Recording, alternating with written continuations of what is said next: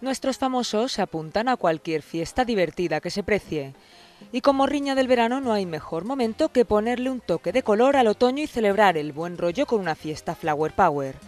En una conocida discoteca de Madrid se han dado cita numerosos rostros conocidos para bailar bajo el lema de paz y amor. Y echando de menos a sus amores, Felipe López, que junto con Mirella Canalda han sido papás de la pequeña Inés, la niña de sus ojos. Muy bien, enorme. Está, está para comérsela. Yo cada día cambia un poquito, cada día es una sorpresa nueva.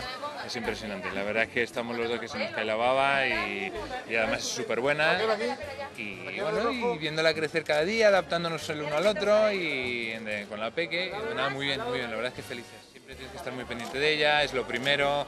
Toda la atención va dedicada a la peque y bueno, pero todos los esfuerzos, si se pueden llamar esfuerzos, son compensados enormemente simplemente con que te sonrías, es una maravilla. Pero bueno, vendrá, todo vendrá, la boda, el hermano, que queremos todo, queremos todo, todo el pack. Y de momento con la parejita parece que se planta Caritina Goyanes, que no quiso perderse el evento, pero con el corazón en casa con sus dos pequeños. Muy bien, fenomenal, muy bien. Ahí en casa los hemos dejado y nada, muy bien. La niña una santa, el niño un poco más travieso, pero muy bien.